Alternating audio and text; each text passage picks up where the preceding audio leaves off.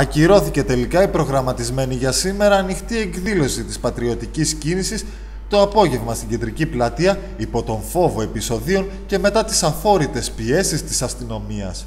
Η ανακοίνωση αναφέρει χαρακτηριστικά. Η πατριωτική κίνηση πολιτών Καβάλα σας ανακοινώνει ότι αναβάλει τη σημερινή εκδήλωση που είχε προγραμματιστεί για τις 6 στην κεντρική πλατεία Καβάλας. Η αναβολή γίνεται προκειμένου να αποφευθεί οποιαδήποτε πιθανότητα δημιουργίας επεισοδίων σε βάρος των μελών που θα έχει ως αποτέλεσμα την αναστάτωση της κοινωνικής και οικονομικής ζωής της πόλης μας και της ενδεχόμενης πρόκλησης ζημιών στις περιουσίες των συμπολιτών μας.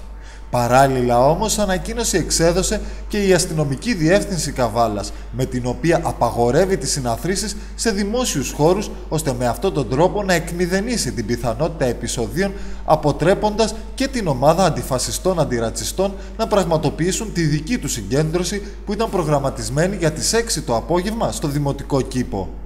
Χαρακτηριστικά η ανακοίνωση αναφέρει Ανακοινώνεται ότι με απόφαση του αστυνομικού διευθυντή Καβάλας δεν επιτρέπονται για λόγους δημόσιας ασφάλειας σήμερα 27 Ενάτου από ώρα 12 το πρωί έως και τα μεσάνυχτα της ίδιας ημέρας οι δημόσιες υπαίθριες συναθρήσεις εκδηλώσεις σε κοινόχρηστους και δημόσιους χώρους της πόλης της Καβάλας.